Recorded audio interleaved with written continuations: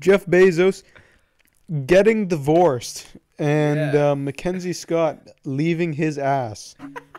After 25 years of marriage, bro, that's kind of tough.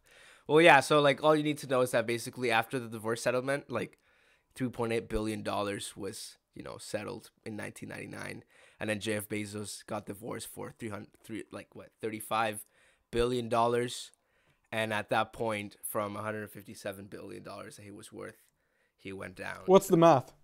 six? Do it. 157 minus 35. Do it.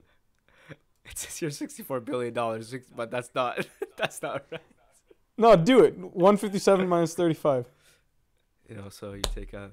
You know. Oh no, my brother's walking in. Oh. 122. Anyways, um, Jesus can't do basic arithmetic, so I'm gonna take over. Um, okay, yeah. Last thing they said, if he didn't put his, it's like a 10b5 dash one, some plan where he gets rid of a bunch of shares per year. He and he didn't get divorced, he'd be worth 285.7 billion. But so he he would be caking. yeah, he'd be caking. But now Yeah. he's poor. Only 157 billion. Itty bitty 157 billion. Bro, love isn't real. If Elon and Grimes get divorced, I I'm mean, deleting Tinder. Bill Gates. I don't want this shit anymore, man. I mean, Bill Gates just got divorced by the time we were like recording this shit. Yeah, right now. right now, as we speak, like 10 seconds ago, my boy Bill Gates Live texted update. me.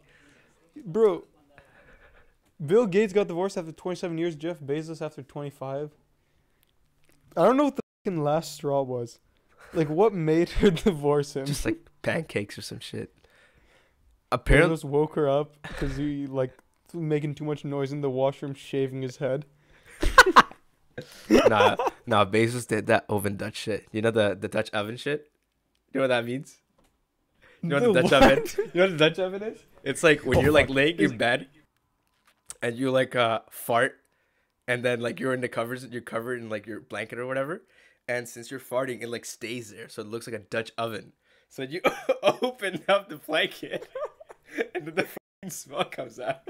we probably did that to Mackenzie. She's like, "Yeah, I'm getting divorced. I'm divorcing this one."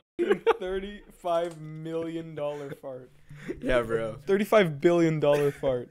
My boy, he had to let one rip, and that was Bro, it. he he has prime.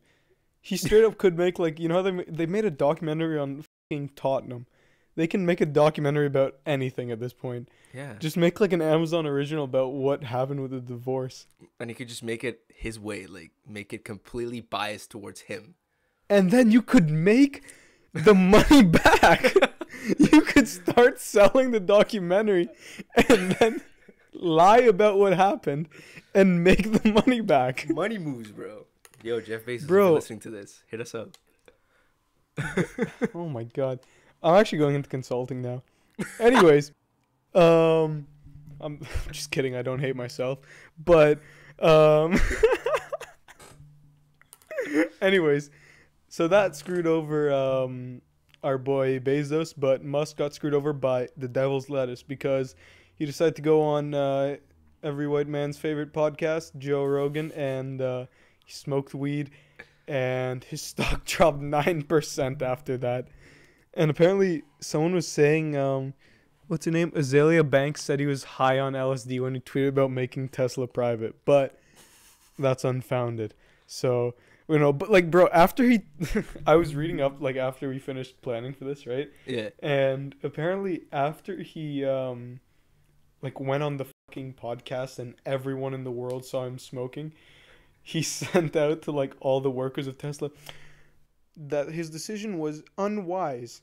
And, um, yeah, no Tesla shit. is still a drug free environment. what? and two, two, like, um, two big boys quit. Yeah, Like, two high level execs just left Tesla. bruh. After he, he took one hit. That's like the equivalent of saying is like, you know that video like I'm not fucking drunk, like man, man took like a bunch of spliffs and then he's like, yeah, but Tesla's a drug-free environment, you know. It's, it's like, Bro, he shows up to I- work. you see him in the fucking because he sleeps on the factory floor. I don't know if he still does that, but like he said he did. you see him wake up on the factory floor, putting the uh, they call it like Invisalign or whatever, Yeah. like the eye drops in. he's like, boys, we're not doing that shit here. I don't want to hear, see, smell, touch, or taste any any weed, any narcotics, nothing. It's a drug-free environment. It's very strict. All right, I'm gonna just go smoke a fat blunt with Joe Rogan after this. Okay. You see him like packing a bowl in his office before he's saying that shit. I just came up with the fucking best idea for Tesla, boys. Each Tesla comes customized with like instead of the what's this shit called? You know the thing you can lift in the middle, of the console. Yeah. Instead of that, like you open it up, like a bong comes out.